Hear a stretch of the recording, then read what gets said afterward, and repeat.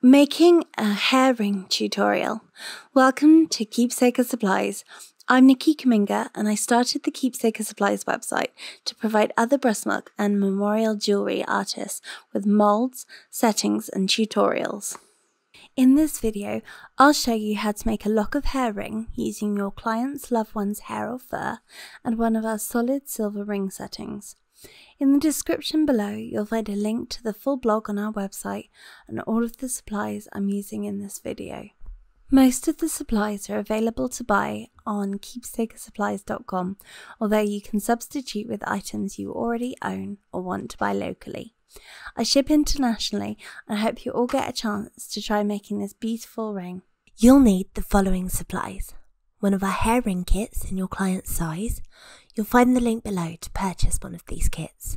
The hair kits contain a ring setting, a single 8mm round cabochon mould, label backing paper, 25 grams of UV resin, three cocktail sticks, and a random sample of resin sparkle mix, vinyl gloves, and some sandpaper.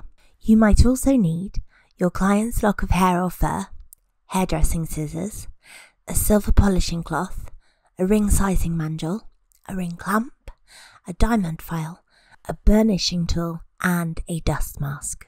I recommend you use a 48 watt LED UV lamp to save energy and make sure the pieces don't get too hot. This one has a 99 second low heat setting. Preparing the mold. As usual, inspect the mould for any dust, dirt, lines, and imperfections. Don't forget to replace your moulds regularly to prevent your pieces being dull. You could make this ring without a mould, but please see our filled versus rub over cabochon setting blog before deciding. Preparing the hair. Double check your client's name and order number against what they've ordered. Inspect the hair and decide how much of it you want to use and how you want to lay it out. Carefully put a very small line of resin along a piece of label backing paper. This is to hold the hair in place and stop it blowing away. This is essential if you're working with a teeny tiny lock of hair, such as from a baby. Cut the hair a little longer than you'll need and place it on the resin. I recommend you buy a double mould and make two at once to give your client the choice, so use double the length of hair. Coat the hair in resin and use a cocktail stick to make sure it's well soaked and remove any bubbles. Cutting the hair. Cut the hair to the length needed. You need each length of resin soaked hair to be around a third longer than the width of your mould. For an 8mm mould, you could cut the hair around 11mm wide.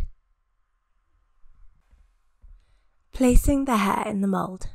If your client sent plenty of hair, you could cut some slightly different length sections and use trial and error to find your ideal length.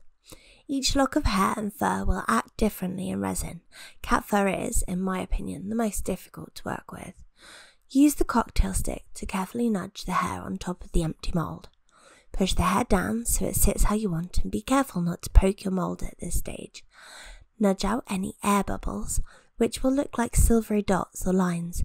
Translucent molds are vital here because you can check the placement from underneath.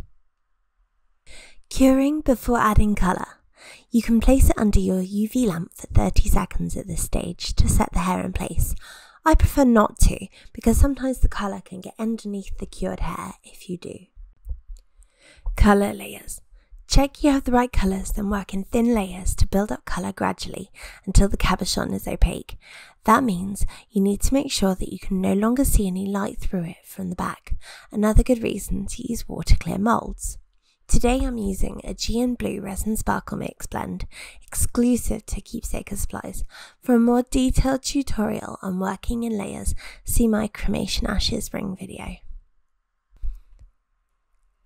After you've fully cured the cabochons at the end, remove from the UV lamp and leave to cool completely.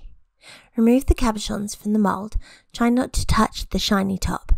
Cure for a final 99 seconds and leave to cool completely again. Proof photo. I like to send my clients a proof photo of the cabochons to make sure they're happy with the colour and choose their favourite stone. Please make sure that you make it clear to them that you will always return the unused cabochon to them free of charge. It can be heartbreaking for a client to think you'd dispose of their loved one's hair or ashes. With hair, I even try to cure and return the extra from the label backing paper. Setting. Check and prepare the cabochon. If it's still sticky, you may not have cured or cooled for long enough. If so, give it a thin coat of clear resin on top and cure and cool completely. Preparing the setting. You can use a ring sizing mandrel to check that your ring setting is the correct size. If you like, give it all a quick polish with the silver polishing cloth. Clamp it in a ring mandrel if you have one. Setting the stone. Place the stone inside the bezel cup of the ring and check it sits nicely. Use the curved burnishing tool to very gently push down the silver around the edges. Work around as if it's a clock 12 o'clock, 6 o'clock, 3 o'clock, and 9 o'clock. Don't push too hard or you could end up with ridges in the silver. Once it's all pushed down, you can start applying a little force. Make a tight seal by rubbing the silver over. That's why this is called a rub over setting. Now you have a beautiful lock of hair ring to send to your client. Please subscribe to my channel and hit the notifications bell because my next series of videos will be breast milk jewellery tutorials. I'll be using Milky Mama Magic Dust from my friend Amy, the breast milk queen. I'm also going to be doing some videos with do's and don'ts for those of you who want to investigate your own breast milk preservation methods. Don't forget, I've linked to the Keepsaker Supplies blog and all the supplies you need down below if you'd like to buy the kit to make this ring yourself. Now relax and do some crafting.